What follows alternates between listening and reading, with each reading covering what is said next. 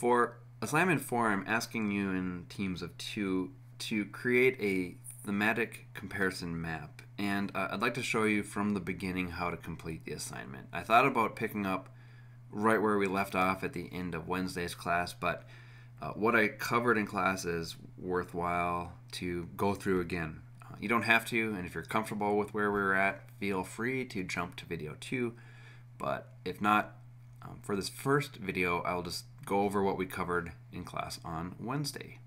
On the class Blackboard, underneath the in-class exercise files section, uh, I'll click on this first one, and it contains a zipped package that if you extract it or open it or just get inside of it somehow, you'll see a folder called GIS data. What I'll do is I'll just copy that using my shortcut keys, and I will place it on my desktop. Inside of this folder, we've got the National Atlas stuff that we downloaded in class, just the country outline with the states, as well as the shapefile created from the Avenza tutorial data.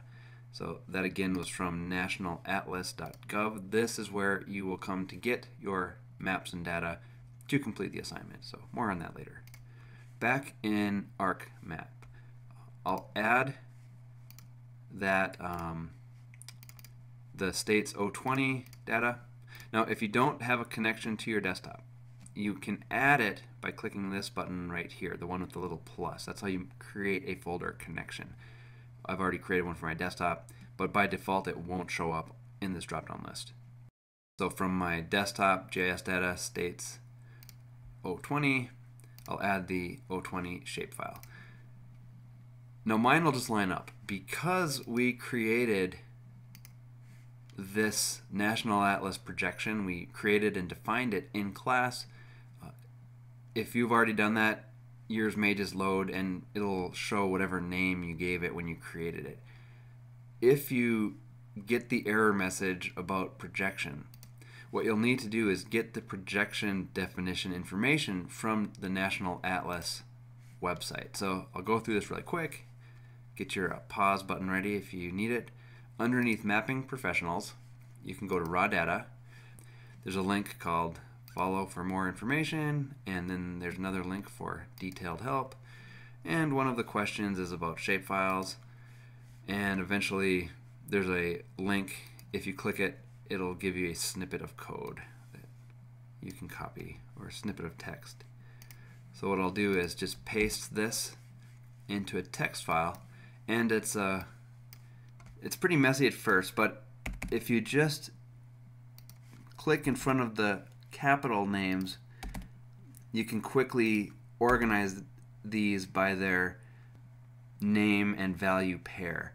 And this is the information that you'll need to define a projection. So the geo GCS is geographic coordinate system, datum spheroid, prime meridian, etc. So to define that, and again, you don't need to do it if it just worked, if you've already done this in class, but if not, after this is placed, you'll want to go to your ARC Toolbox window, then to Data Management Tools, uh, down to Projections and Transformations, and then select Define Projection. You'll have to select that feature set, which is right here. Click on this button, click on New, Geographic, and you can name it whatever you want.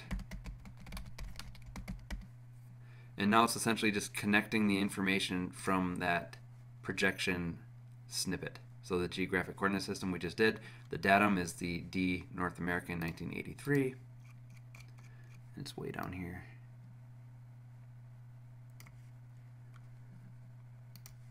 And the rest of it should auto-populate with the exception of the unit and the meridian. Um, but that's just good for double checking because if it was way off, this information compared to this information, there would be red flags, but fortunately this lines up. Angular unit is degree, prime meridian is Greenwich. Hit finish, hit apply, and okay, okay. Now it's defined. Now you'll see a little lock symbol here. That's just telling you that uh, it's processing as soon as that goes away, it'll be done processing. You can also look down here. Oh, it just went away. but there's a little status bar showing you what would happen.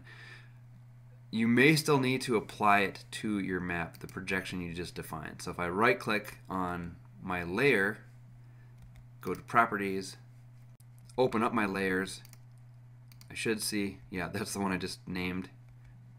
I could select it and hit apply. It's exactly the same, so it shouldn't matter. Um, hmm, I don't know why it didn't show up. It probably does when I close this. Right click, just double checking. Yeah, so there's my wonderfully named projection. You'll probably want to name it something else like National Atlas Projection because you can reuse it for any other shapefiles you download from the nationalatlas.gov website. Regardless, it is now projected. And that step needs to be done before you do the next step, which is add the other shapefile. And I'm doing this just for comparison purposes.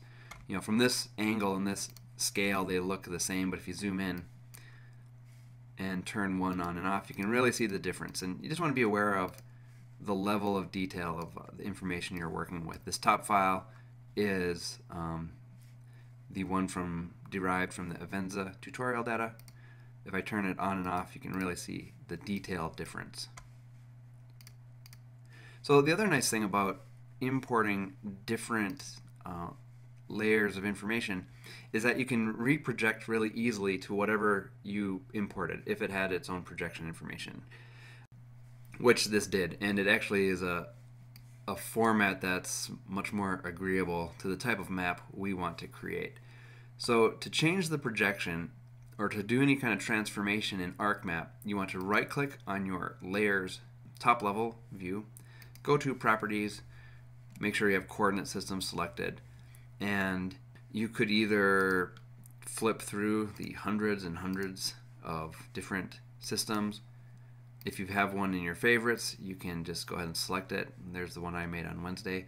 Or you can go to Layers, and my USA Area 1 happens to have the Albers equal area 1. So if I highlight that, hit apply, um, just telling you that they're different. Now I can close this. So I can see that they are now in this format. So I'll get rid of that USA Area 1. That was just for comparison. Once it's removed, you know, the, the projection doesn't change, which is nice. At this stage, what I want you to do is get rid of everything that is not the lower 48 states.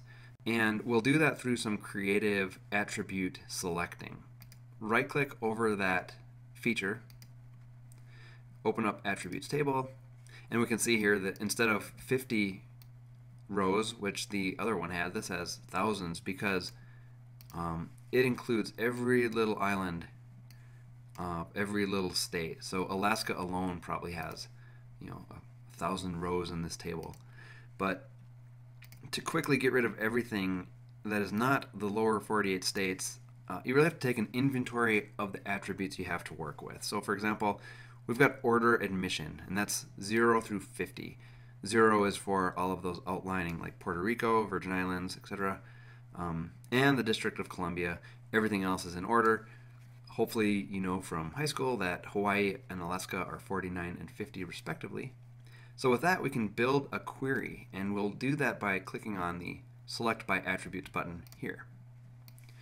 So the query is sort of started for you right here. It's saying select something, that's kind of the wild card, that asterisk, from this table where, uh, so we need to say where order admission is greater than 0, I'm just typing 0, and order admission is less than or equal to 48.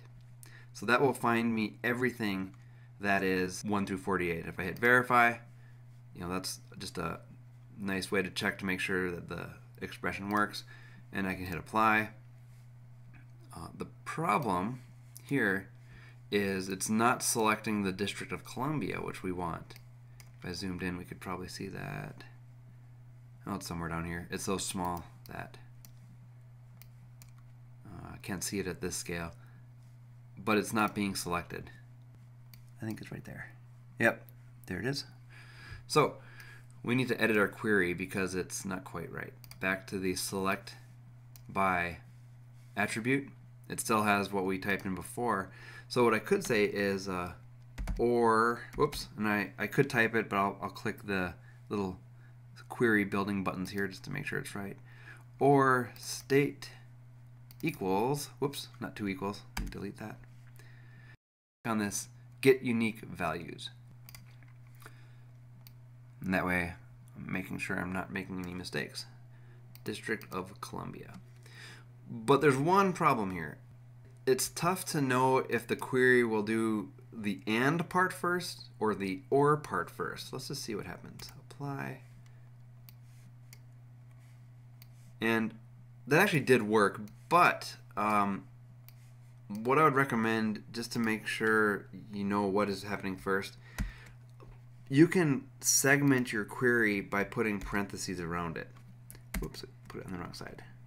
So by putting this part in parentheses, I'm forcing it to say, first pick everything that is meets this criteria, then do the rest of the statement. Hit apply. Uh, that should all be selected, and if I scroll through my attributes table, you can see that as soon as I hit uh, the rows that meet that statement, they're also highlighted. So let's go ahead and close that. Let's zoom out.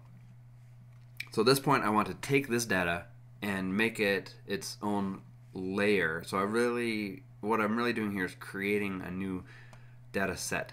And you do that by right-clicking on your layer, go to Data, and Export Data.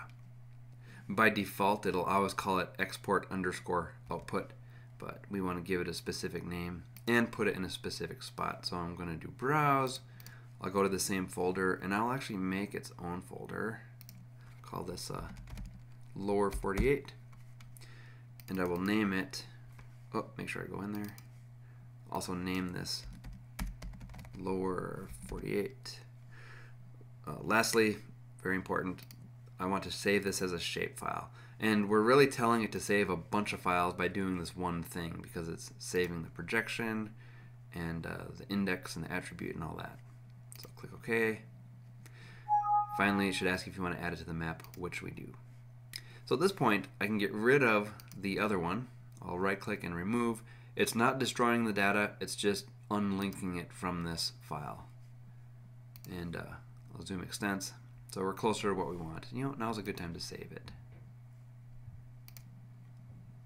So you can call it whatever you want. I will call this uh, assignment four example one.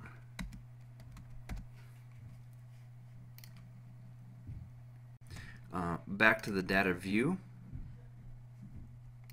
All we need to do to get two maps to compare, you'll always have one data frame on this, and this represents your PDF. You know, this is the extent of your 8.5 by 11 inch PDF that you'll eventually be saving. So if I uh, just position this frame like this for the time being, and if you hold down Control as you click and drag, it'll make a copy. And, and a couple things really happen here. It makes a copy, but then in your layer views, you can also see that it got two now over there. And if I go back to this mode, um, whichever one is bold is the one you're working in. And you can right click and select activate to make that the active layer. We're linking to the same information, but we can style it different, which is really the point of this assignment. Um, so same information, just a different style.